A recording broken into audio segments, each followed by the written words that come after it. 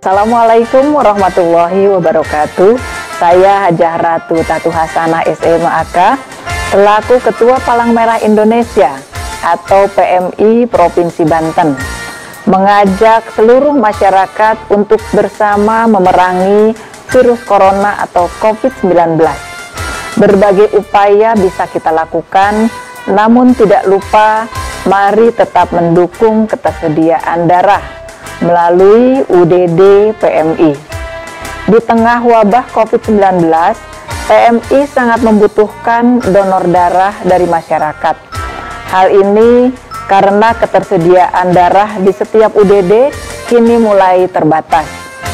Kebutuhan darah bagi penanganan kesehatan untuk pasien-pasien di rumah sakit tetap berjalan dan sangat dibutuhkan. Perlu kami tegaskan, donor darah aman dan sehat, tidak terkait dengan penularan COVID-19. Bahkan lebih dari itu, bisa menolong sesama kita yang membutuhkan transfusi darah. Sekali lagi, kami mengharapkan kepada pendonor darah sukarela yang telah memberikan amalnya, tetaplah memberikan donor darah. Atas jiwa sosial dan ibadahnya melalui donor darah, kami ucapkan terima kasih. Ayo berdoror darah untuk menolong sesama kita. Billahi taufiq wal hidayah. Wassalamualaikum warahmatullahi wabarakatuh.